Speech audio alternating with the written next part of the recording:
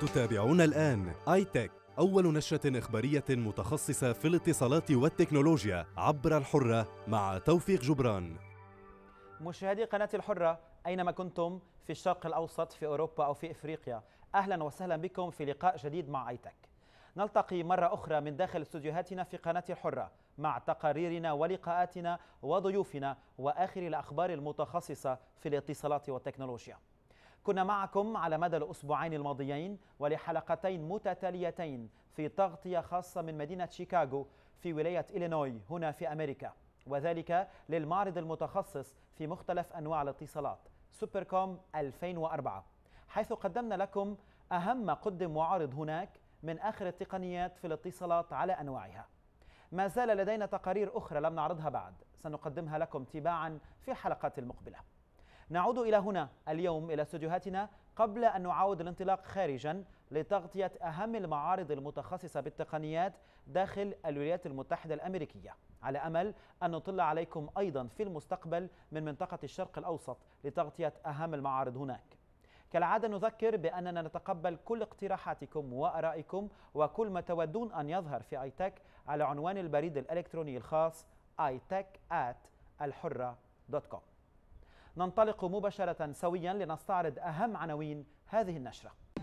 الخطوات الأولى نحو الحكومة الإلكترونية في لبنان. Climax معرض تقني حول تغيرات المناخ في باريس. الكشف للمرة الأولى إعلامياً عن شكل البريد الإلكتروني الجديد Gmail Ojo هاتف جديد بالصوت والصورة من موتورولا. feel secure كاميرات الأمن لمراقبة الشوارع. وتقارير وأخبار أخرى تقنية متفرقة. التكلفة الكبيرة لتنفيذ مشروع الحكومة الإلكترونية جعلت لبنان يستعيض عنه مرحليا بإنشاء موقع متقدم وهو موقع Informs الموقع يشكل تمهيدا للحكومة الإلكترونية ويقدم نموذجا عن كل المعاملات المطلوبة في الإدارة اللبنانية على أن يتم تطبيق الحكومة الإلكترونية تدريجيا اعتبارا من نهاية العام المقبل بدءا من الجباية الإلكترونية لخدمات المياه والكهرباء والهاتف. تقرير حول الخطوات الأولى للوصول إلى مشروع الحكومة الإلكترونية في لبنان وحول موقع informs.gov.lb الحالي من مندوبتنا في بيروت كلودي أبي حنّة.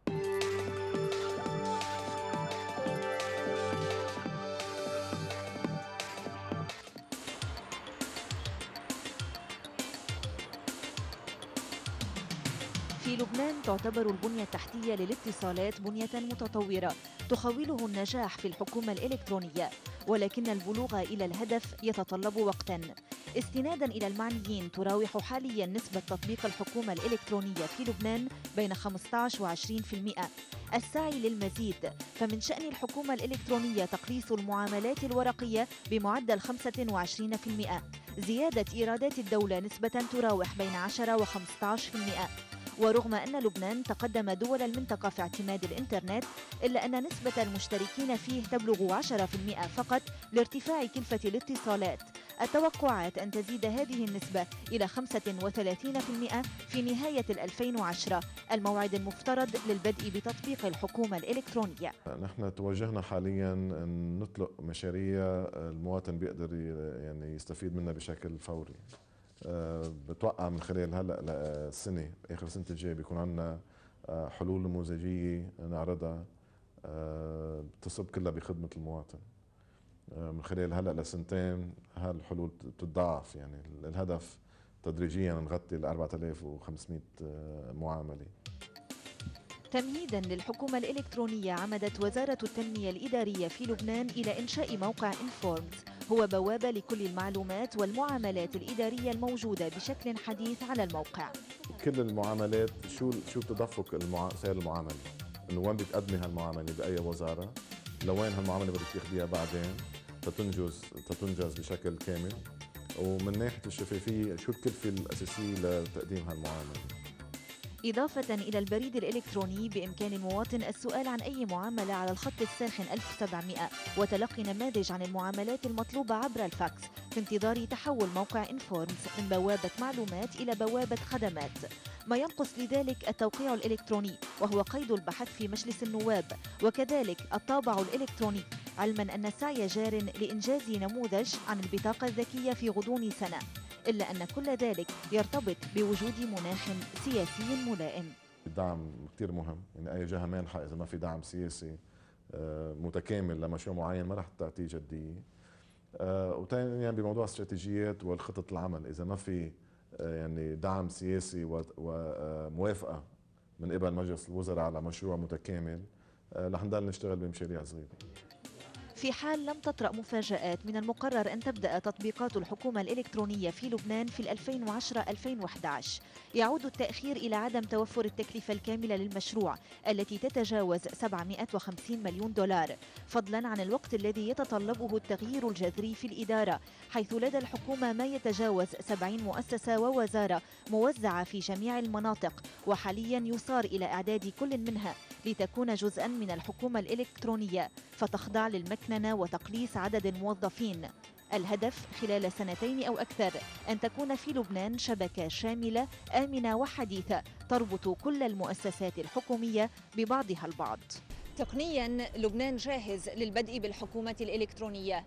ما ينقص إعداد القوانين المناسبة. في انتظار ذلك يتم السعي لتأمين الخدمات الأساسية قبل نهاية العام المقبل.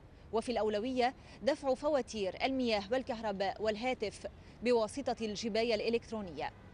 كلودي أبي حنا لنشرة آيتك الحرة بيروت.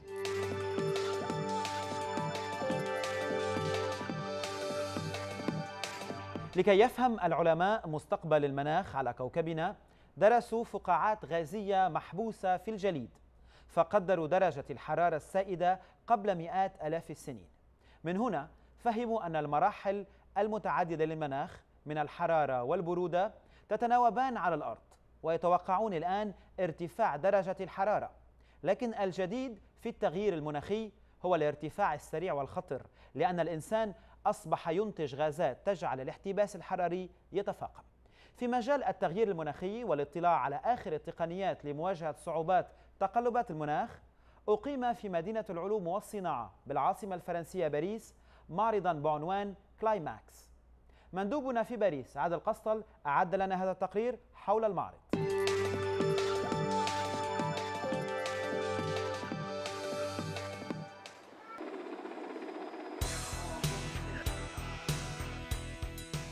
عاد الصيف وعادت معه المخاوف من حرارة شديدة تقتل ذوي الأبدان ضعيفة كالشيوخ والعجائز. كما حدث في العام الماضي أكثر من 15 ألف شخص لفظوا أنفاسهم الأخيرة. ورب ضارة نافعة دفعت تلك الكارثة بالناس إلى الاهتمام بالمناخ وتغيراته. كما هو الحال هنا في مدينة العلوم والصناعة بباريس التي تقدم معرضا عنوانه كليماكس. هو معرض تربوي بالدرجة الأولى يهدف إلى تبسيط معطيات علمية وقد استحدث لهذا الغرض نظام يسمح بالتدرب على المعادلات المناخية بثوابتها ومتغيراتها. بعد الأحداث المأساوية في الصيف العام الماضي التي أدت إلى وفاة المسنين جراء الحرارة الفائقة يخصص هذا المعرض لمسائل تتعلق بالتغيير المناخي. هذا هو أول معرض في إطار برنامج حول كوكب الأرض تنظمه مدينة العلوم والصناعة. أصبح الإنسان قادرا على فهم المناخ وفهم في الوقت ذاته أنه هو المتسبب الأول في الضرر اللاحق بالطبقة الهوائية التي تلف الأرض. منذ قرن نشاط الإنسان أصبح ينتج غازات تجعل ظاهرة الاحتباس الحراري تتفاقم. تلك الغازات موجودة طبيعيا في الغلاف الهوائي ولكنها الآن فاقت المستوى المعقول. وهذا ما يحبس حرارة الأرض ويرفع من حدتها. يتلقى كوكبنا أشعة الشمس فمنها ما ينعكس ومنها ما يبقى وهذا ما يسمى بالاحتباس الحراري. ذرات الماء وثاني أكسيد الكربون وغاز الميثان هي المسؤولة عن ذلك الدفء الذي بدأ يتحول تدريجيا إلى حرارة مخيفة منذ الثورة الصناعية. استعمال الإنسان للوقود الإحفوري أي الفحم والنفط والغاز جعله ينتج كميات هائلة من ثاني أكسيد الكربون مساهما بذلك في تفاقم الاحتباس الحراري. ويتوقع العلماء وصول كمية ثاني أكسيد الكربون المنبعث إلى 40 مليار طن سنويا في نهاية القرن. يطرح معرض كليماكس السؤال التالي ما الذي قد يحدث إن استمر الوضع على ما هو عليه؟ قد تصاب أستراليا مثلا بحملة من الحرارة الشديدة تتسبب في نشوب حرائق. مدن كبيرة مثل شيكاغو قد تعرف ارتفاعا في الحرارة لتصل إلى 40 درجة. وبالمقابل قد تتهاطل على شمال أوروبا أمطار غزيرة تحدث فيضانات داخل المدن. هذه تكهنات فقط فماذا عن الواقع؟ الثلوج القطبية مهددة بالذوبان وسيرتفع مستوى مياه البحر لتفيض على المناطق الساحلية الكبيرة ذات الكثافة السكانية العالية اتفاق كيوتو الموقع في 1997 والذي لم يحصل حوله إجماع دولي هو اليوم المرجع الأساسي بالنسبة للعلماء الحريصين على تثبيت درجة الحرارة ومنعها من الارتفاع وهم يقترحون حلولا مستقبلية شق شوارع عريضة مثلا في المدن الكبيرة ونشر أقمار صناعية في الفضاء مجهزة تلعب دور المظلات. المناخ متغير لا محالة. ارتفعت الحرارة على وجه الأرض خلال الألف سنة الماضية بدرجة واحدة وسترتفع بخمس درجات في المئة سنة المقبلة إن لم يتصرف البشر. عادل قسطل لنشرة آيتك الحرة باريس.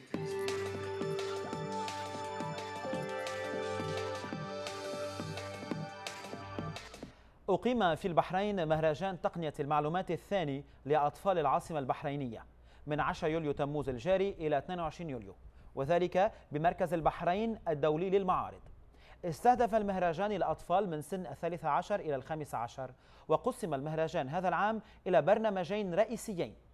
البرنامج الأول تك كيدز للأطفال من سن الثمانية إلى الثانية عشر حيث يختص في تعليم مبادئ البرمجة إضافة إلى تعليم المشاركين كيفية بناء الرجل الآلي روبولاب.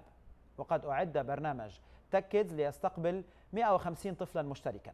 البرنامج الثاني وهذا البرنامج جديد لم يتم تطبيقه العام الماضي حيث يقسم الأطفال إلى مجموعات متفرقة لإعداد مادة فيلمية بالإضافة إلى نشرة إعلامية.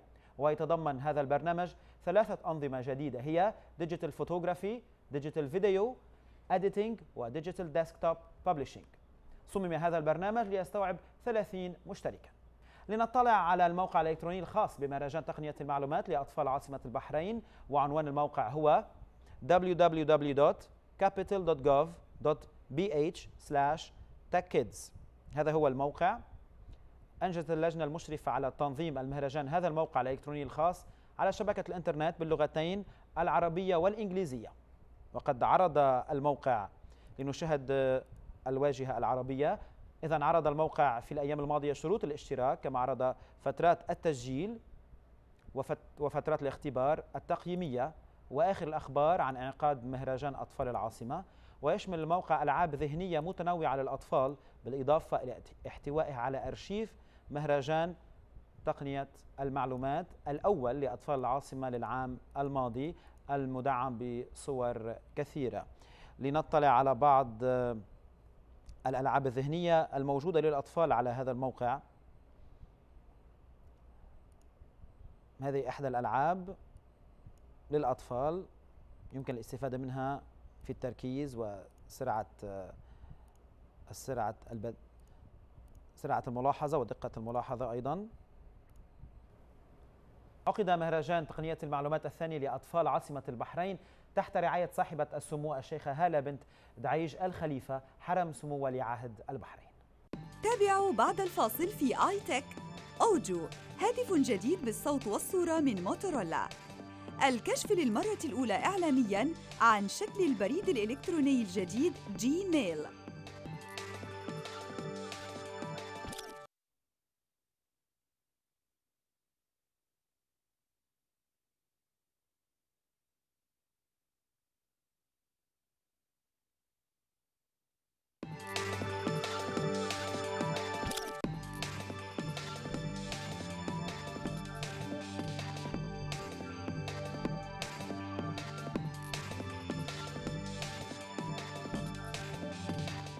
لتواصل معنا أرسلوا لنا على عنوان البريد الإلكتروني itech@alhurra.com موتورولا المعروفة والمتعددة الاختصاصات في تقنيات تكنولوجيا المعلومات تقدم حديثا أوجو هاتف صوت وصورة يعمل باتصال الحزمة الكبيرة broadband Ojo personal video phone من موتورولا نتعرف عليه الآن ويعرض تلفزيونيا للمرة الأولى.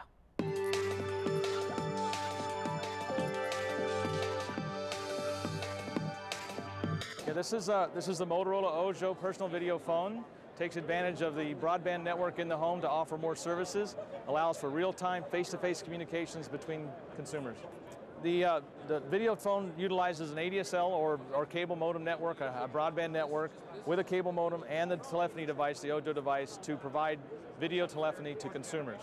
So we can look up in a phone book um, numbers that we have. Oh, excuse me. Um, we have right now this set up in our demo room in Horsham, Pennsylvania, uh, where we can do. So we'll make a call real quick. We'll just dial that select.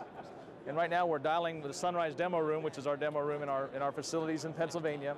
Amanda, how are you? Okay, hang on. Let me turn up the volume here. So Amanda, we have the uh, Middle East Television Network here, and we're showing them the new Ojo phone. So say hello to the world. So this is Amanda. And so, so you get MPEG-4 uh, compression, about 150 kilobits uh, of data going across the broadband network to a device in our demo room or in another consumer's phone line so you can make a face-to-face real-time call. So we'll, uh, bye Amanda, we'll talk to you later. And then you connect. Uh, there's, there's several things on the main menu, uh, things like you can look up like any kind of cell phone, calls that you've dialed, numbers that you've dialed so you can get you know, store numbers and telephones, et cetera. Also the Ojo, this one's a demo unit, but you can actually take this off and disconnect it and use it like a regular phone. You can also turn off the, the camera so that you can use it as a regular phone. You'll be able to dial any other, any other phone that has a video phone capabilities to it. So you can go video phone to video phone. Or you can dial it over a network to a, a standard phone over a public switch telephone network. But what we're showing is the ability to have new applications utilizing the broadband network in the home. Video phones, home monitoring systems, audio phone systems, all taking advantage of the high-speed pipe in the home. And it's just another example. You can store video messages on the phone just like as well as voice messages, audio messages as well.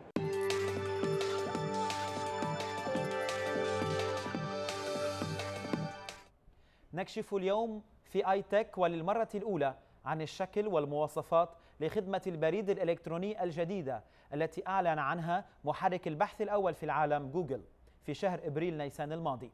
واعدا بمواصفات جديدة وسعة كبيرة لم تقدم من قبل من أي مقدم خدمة بريد إلكتروني في العالم. وقد حرك هذا الإعلان الشركات الأخرى بقوة وبسرعة لتطوير وتحسين خدمات بريدها الإلكتروني كما فعلت ياهو وأعلنت هوت ميل اسم البريد الجديد من جوجل كما تعلمون Gmail ولكن ليس متاحا بعد للعموم بل توزع دعوات خاصة من قبل شركة جوجل للبعض ليصبحوا مشتركين وليحصلوا على عنوان بريد إلكتروني gmail.com بنسخة بيتا التجريبية. حصل iTech على بريد إلكتروني من Gmail ولكن نطلب منكم ألا ترسلوا عليه لأنه ليس عنوانا للبرنامج. لنتعرف الآن على المواصفات الجديدة والشكل لبريد Gmail الذي يكشف عنه للمرة الأولى عالميا هذه هي صفحة Gmail dot com الأساسية. وكما تظهر هنا Gmail by Google beta بالنسخة التجريبية بيتا. هذه الواجهة من هنا يتم الدخول sign in ومن الملاحظ يتم الدخول فقط ولا يمكن الاشتراك بهذا البريد. وكما قلنا هناك دعوات خاصة من جوجل للبعض. مواصفات بريد Gmail كبيرة وعديدة من أهمها يمكن البحث حول موضوع ما وجد في رسالة واستحضار الرسالة تلقائيا. السعة كبيرة جدا وهي 1000 megabytes. وأيضا هناك مواصفات أخرى. لا يمكن هناك وجود لا يوجد إعلانات إنما هناك نصوص على يمين الصفحة. لنكشف عن شكل البريد.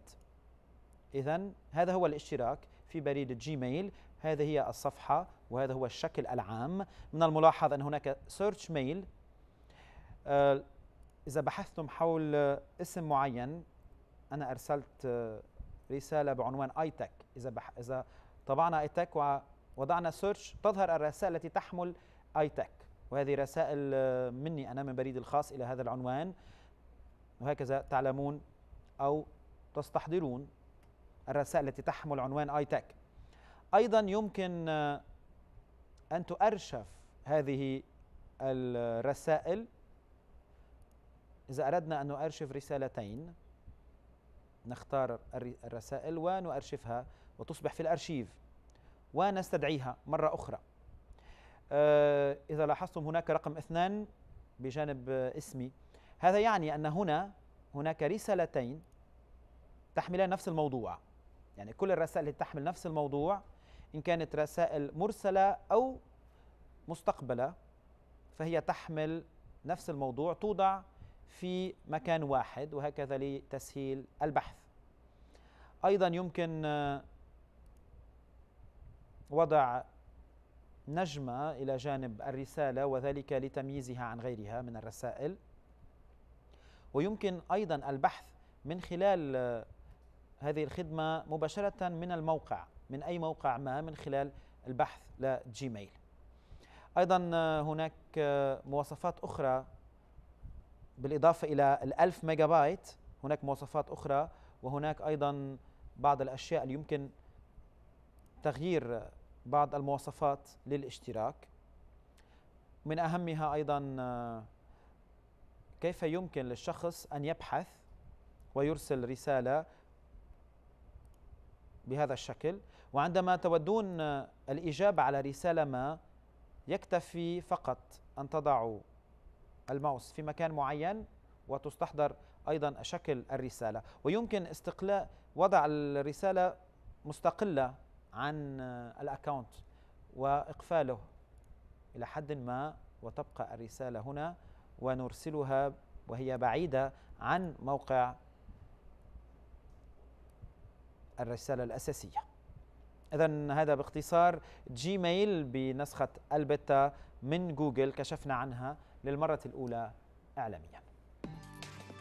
تابعوا بعد الفاصل في iTech field secure كاميرات للأمن لمراقبة الشوارع في المدن الكبيرة مع المهندس جميل عصفور.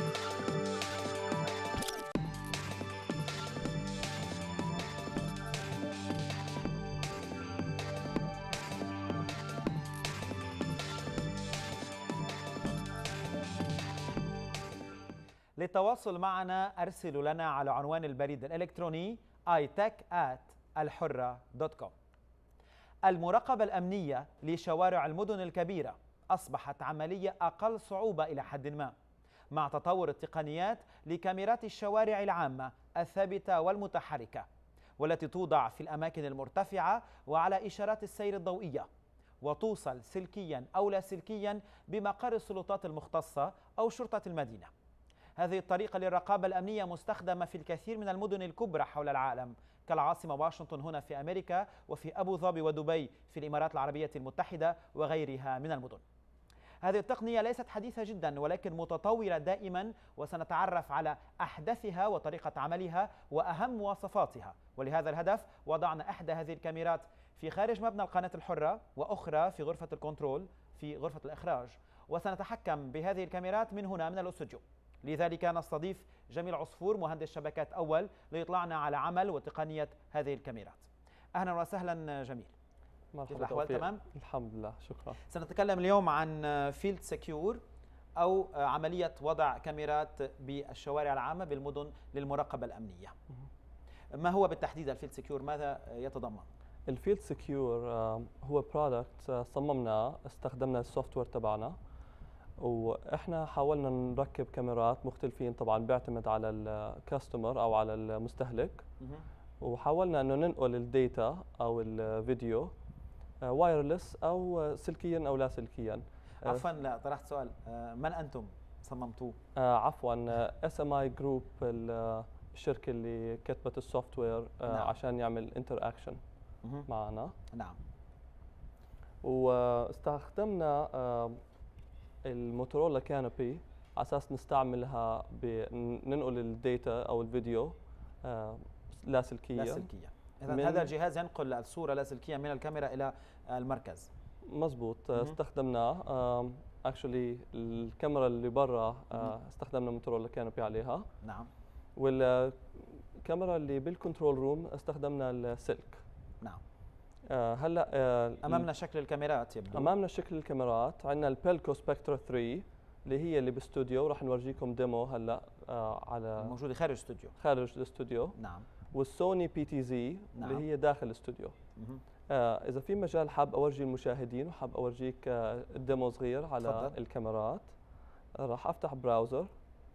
آه كتبت ال 192.168.04 اللي هي ال IP تبع ظهرت صورة داخل ال control control room هذا آه المخرج زميل شادي. نعم. شادي آه ولميس على يمينه. ولميس هون وهي ال control room راح أحركها شوي. فيك تتحكم نعم بال بطريقة سريعة جدا. بلمس الأصابع الضغط على الماوس. بتقدر تتحرك على أي قناة بتحب. نعم. يعني هكذا يفعل الشرطي أو مركز المراقبة للشوارع؟ أكيد. نعم. أيوه. وبتقدر تعمل zoom. أها آه I'm gonna راح أعمل zoom على شادي نعم. شوي. بتضل الصورة واضحة. oops sorry آه مشيت فيها شوي سريع. ما مشكلة.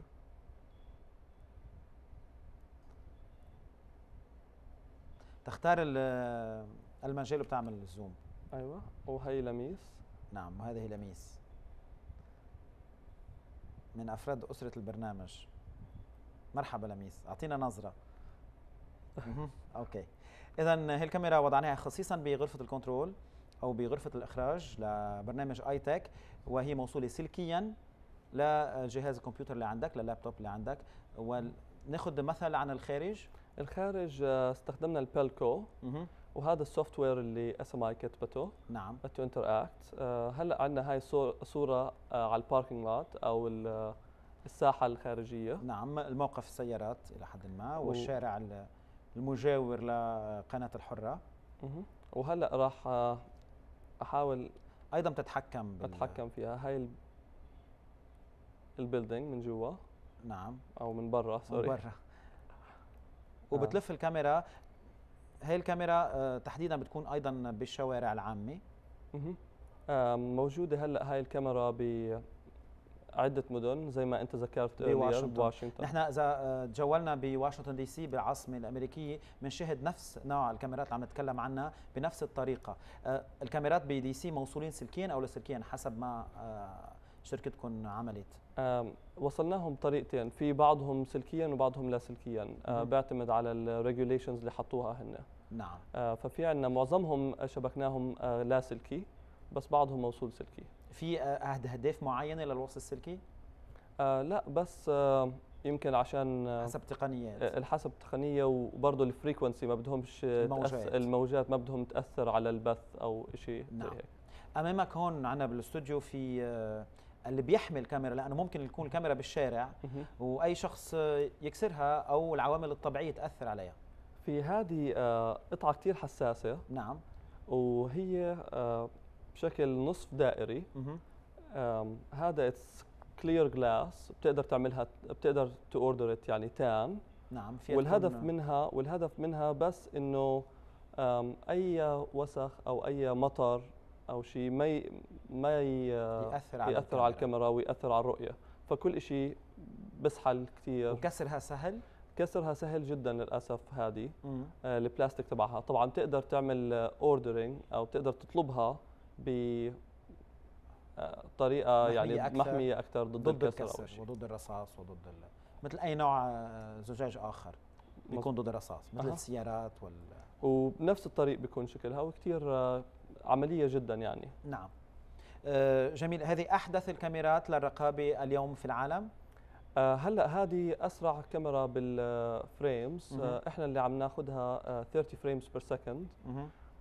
اللي دا خارج الاستوديو واللي داخل الاستوديو آه، 34 frames per second 34 أها. نعم. طبعا بيعتمد على آه، اللي بحب المستهلك قديش ال budget تبعه آه،. الكاميرات سعرها آه، بتراوح يعني من ال- بتقدر تقول من الخمس ل 20 ألف يمكن أكثر per. الكاميرا.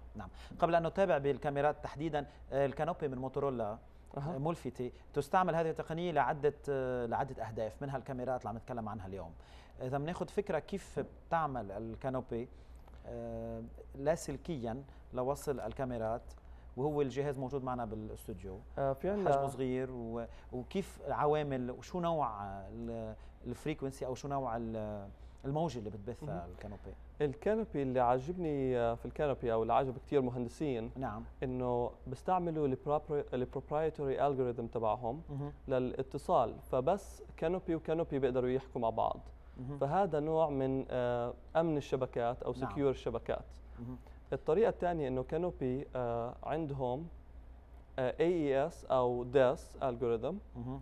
على أساس إنه يزيدوا الشفرة بحد إنه ما حدا يقدر يدخل على الكاميرا أو ما حدا يقدر يدخل على يعني ال- AES آه، هي ال advanced encryption standards مزبوط وال DES هي data encryption standards بال encryption مضمونة يعني التشفير والحماية مضمونة 100% إذا أحد الأشخاص آه، جاب جهاز Canopy آخر ووضعه بين جهازين هل بيلتقط الصورة؟ هل بيأثر على توصيلها للمركز الشرطة أو آه، بال encryption مفروض طبعا لا. وفي آه، درجات من ال encryption نعم. موتورولا آم، زي ما حكينا earlier توفيق. آه، موتورولا استخدموا أو حددوا ال AES algorithm ل 168 bit encryption. نعم. آه، ما استخدموا ال full suite تبع ال 256 وكافي و 168 168 بت آه، 168 بت آه، كافي آه، بس في بعض طبعا دائما بيحكوا أكثر security نعم. ففي طرق أخرى المهندسين بيقدروا يستعملوها عشان ال security أو الأمن. تقدر تحط جهاز encryptor بيعتمد على ال sensitivity تبع ال project تبعه. يعني جهاز آخر بتضيفه على مجموعة Canopy جهاز آخر بتضيفه بتوصل بتوصل actually لاسلكي آه، بتوصل سلك نعم. آه، راح أحاول أفتح ال Canopy okay. آه، بتوصل سلك هون نعم. آه، بتحط الجهاز ال encryptor 256 bit encryption using AES algorithm أو مهم. تقدر تحط type 1 encryptor و turn off ال encryption تبع أو بتسكر التشفير على ال Canopy وبصير عندك full security نعم. مش مشكلة.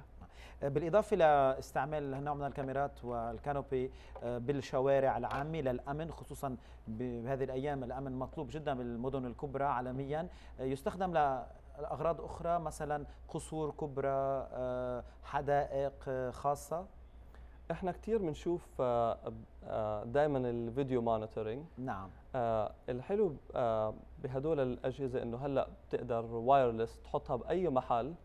وب control room وحدة بتعمل كل ال كل ال monitoring. نعم. عندك هلأ هذه صورة أو application. على اللي هي اول refineries أو آه، أماكن تكرير ال- ال- النفط أماكن تكرير النفط زائد موانئ. نعم. تقدر تشوف كل آه، باخرة بتدخل وبتطلع. آه، شو محملة بتقدر تعمل زوم عليها. وزائد أماكن آه، النفط تشوف إذا في مثلا في تلوث بيئي أو آه، أو إذا البواخر عم عم ترمي أشياء بالبحر آه، آه، بتلوث كمان البحر. كثير التلوث البيئي هلأ آه، عم بصير آه، شغلة كثير كبيرة وجمعية آه، حماية البيئة عم بيحاولوا إنه to monitor ويفرضوا غرامات كبرى. على تلوث المياه. نعم. وهي طريقة من الحماية. يعني ليس فقط المدن لكن أيضا الشواطئ والبيئة تحمى بهالطريقة التقنية اللي عم نقول عنها سلكيا أو لاسلكيا. عندي سؤال بالنسبة لموضوع اللاسلكي آه لازم يكون أجهزة ال Canopy متواصلة بشكل متناسق ويكون في آه يعني ما يكون في حواجز بين جهاز وآخر لتصل آه الإرسال بشكل جيد. مزبوط. ال Canopy لازم يكون آه، من point من point نقطة to point لأخرى. من نقطة لأخرى straight shot وطبعا بتأثر مع هذا عشانه radio frequency أو عشانها موجات آه، راديو آه، بتتأثر بعوامل الطقس الطقس والمطر بقل frequency نعم. ولازم يكون clear shot فدائما هو ال wireless الأفضل طبعا للسهولة إذا ما بتقدر عشان هيك تحطها سلكيا. نعم. آه، يمكن لازم نرجع نختم إذا بتعطينا صورة الكاميرتين والفرق بين كل كاميرا. sure. آه حابب إذا في مجال نعم اي شو عندنا هون sorry هذه نسيت أحكي بسرعة على نعم. ال command center هاي control room زي اللي عندكم بس أكبر. أكيد. آه بمنطقة أمن مختصة بال cities وهذه عندك كذا screen بيقدروا يعملوا zoom يعني هيدي المنطقة المكان الموصول إلى كاميرات المدينة كلها. أكيد. وبيشاهدوا الشوارع من هذه وبيشاهدوا وبيحافظوا على أمن المواطنين. نعم. وهذه آه، بتكون مثلا بفان اللي هي mobile command center بتكون بفان. سيارة متحركة. وبطريقة أصغر وبتقدر تحط فيها ال monitors وتراقب آه، كل الكاميرات بحجم إذا الفان متحرك بضل موصول لاسلكيا بال Canopy؟ آه، بتقدر تحطه بتقدر توصله على ال satellite. آه, آه satellite. توصلوا بال command center وبعدين your own بتقدر تشوف نفس الشيء يعني بتجيني صورة على السيارة المتحركه من من مركز مش مباشرة من ال Canopy على الطريق؟ لا. من المركز الاساسي المركز. نعم. إذا بنشوف شكل الكاميرتين والفرق بيناتهم إذا الكاميرا ال Pelco هي الموضوعه خارجا. أها. والكاميرا السوني هي الموضوعه داخل ال control room. مزبوط نرجع بنشوف خارجا كيف آه، بعدنا نحن موصولين. وبنشكر آه، جهودك آه، جميل وجهود شكرا. sorry هي هدف الخارج الخارج. الخارج الفرق بينها ال Pelco اللي هي بتروح 360 نعم. round و180 درجة. نعم. while ال Sony آه while ال Sony بتروح آه 320 و160 درجة. نعم. نرجع ندخل على غرفة ال control عند بعدنا عند لميس هون عند الشباب. آه، يمكن يسألونا المشاهدين ليش اسود اسود وابيض عم بين الصورة. آه إذا بيعطونا لحظة I think رح تصير ملونة. تصير ملونة. نعم. لأن أكيد نحن الوصل اللي صار هون أو التجهيز مؤقت. أكيد. منه ثابت. لأن بالأماكن الثابتة بتوصل الصورة دغري. ملونة. نعم. اذا آه، هيك بكون تعرفنا شركتكم حتأمن هالخدمة لعده دول في العالم أو أمنت بالأحرى وتنطلقون إلى بلدان أخرى؟ آه، في الوقت الحالي إحنا امنا في عدة مناطق في الشرق الأوسط. نعم. بعدها بقدر أذكر اسمها والبعض والبعض الآخر ما بقدر. آه برضه عندنا الواشنطن بوليس ديبارتمنت ميامي police department Newport News في آه كلهم already بيستعملوا هاي التقنية وبيستعملوا ال field secure product لأمن الشوارع والمواطنين في المدينة.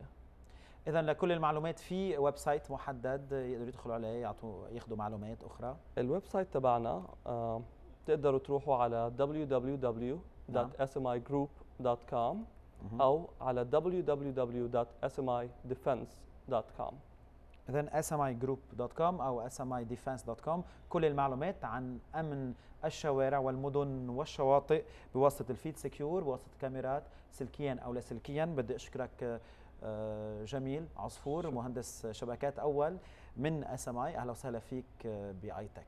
شكرا توفيق. شكرا. تابعوا بعد الفاصل في iTech Cisco وهاتف نظام المعلوماتية IP telephony system الجديد. Foundry Networks ومشاريع في الشرق الأوسط.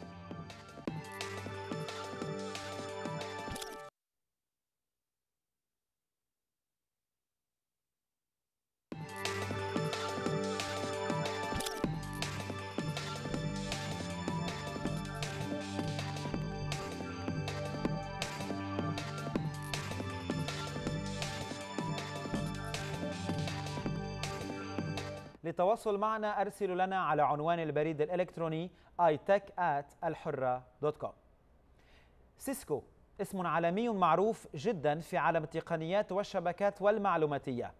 من التقارير التي بقيت في جعبتنا من معرض NetWorld and Interop في لاس فيغاس لقاء مع Cisco حول أحدث ما تقدمه اليوم من IP telephony systems. والتحول الحالي والسريع من الاتصال الهاتفي التقليدي إلى النظام المعلوماتيه في الاتصال IP Communications فلنشاهد إذن جديد IP Telephony Cisco Systems IP communications is really changing the way people make phone calls. And the most interesting capability now is adding video. Now, if you've ever made video phone calls before, they're not very easy and often require expensive equipment. So this product, which we introduced in February and we're showing here at the show, which is shipping today, integrates a USB camera, so this very simple camera with your PC, mm-hmm. and then using our Cisco IP communications phones, this is the 7970 color touchscreen phone, makes making a video call as easy as making a phone call. So let me show you. You're calling me now. I'm calling you, and if you just hit the answer button there, when you hit the answer, you'll notice your video immediately pops up along with me. So we're using this camera here. Yeah. That's all there is to it. And you'll notice that the refresh rate is very natural so that I can make gestures, I can tell you what, how I'm feeling, what I'm doing. In fact, we're doing this with, with people today using sign language, so they can actually sign using Video Telephony Advantage. We launched it a little bit earlier this year. Uh, we're doing, but we're doing the broad deployment now, as in May. So Where did you launch uh, we actually did a, a web launch in February, and then the first time we showed it uh, was to our internal channel partners. Uh, we're, we're shipping it today to customers around the world. It's a very inexpensive product. It's less than $200 uh, per location to implement. The $200 for the camera and the software, and then it will work with any of our IP communications telephones, from the smaller end all the way through the full color touchscreen phone you're seeing here today. And once we've integrated video, I can put the call on hold, the video stops, come back from hold, the video instantly returns. I can transfer the call, or I can even conference other people in, making video just part of your phone call. Good. It will be in the Middle East soon. Uh, yes, it will be available wherever we sell IP communications, which is available in the Middle East today.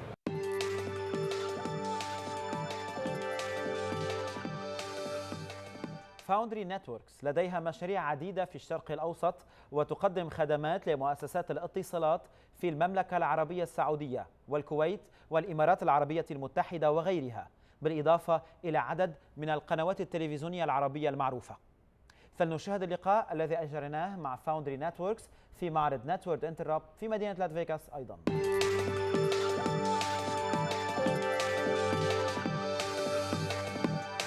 Actually, we have two stands here. So this stand in particular is focused on our infrastructure products, layer two, layer three products, uh, particularly on 10 gig. And just behind us, we have another stand that's very focused on layer four through seven products, uh, internet traffic management, content management, and also security appliances. So here, for instance, uh, we're showing off for the first time running wire speed IP version 6 on our terabit uh, gigabit Ethernet router, switch, switch router, the, the Mucha Grande uh, Big Iron MG8. This is the first time we've shown this wire speed, and as you can see from around the corner there, 480 million packets a second throughput for IP version 6. What we're seeing is that IP version 6 becoming uh, more and more important. The US is soon going to be uh, mandatory in some projects. We see it very much important in uh, education establishments, research establishments. So this is all part about saying that IP version 6 is here. At the end of the day, we're running it already in places like Japan, where the requirements for having individual IP addresses on PDAs, telephones, etc., is already here. And so you, you know, you, you just run out of IP addresses with IP version 4. And coupled with new security, it's going to be the way in the future. Well, one of the things about uh, the Middle East is it's very much uh, a combination of greenfield, new sites, and clearly some established businesses. But we've been very successful in petrochemicals in the Middle East, places like ADNOC, We've been successful. Around about 70% of all internet traffic goes through foundry equipment, either through Kuwait Institute of Research, KISA, or CAX down in Saudi, or Etisalat. Um, we're also strong in media, whether it be through Al Jazeera or El Arabiya. Um, we're also uh, strong in education, so such as the higher colleges of technology. So we're very diverse in a whole different sets of very big companies. And one of the great things about the Middle East is there's a very fast move to best of breed, very high speed networks because they haven't got the, the history of some of the older networks. So we're seeing actually seeing gigabit Ethernet deployed to the desktop in universities. We're seeing it, uh, and we're seeing you know our 10 gig already being adopted in the region.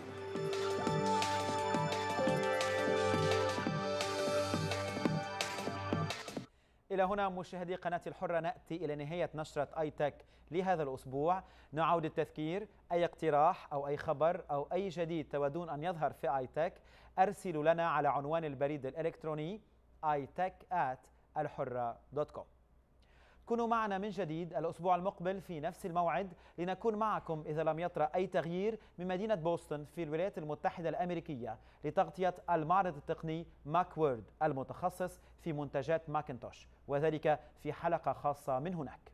أنا توفيق جبران شكرا لكم جميعا وإلى اللقاء.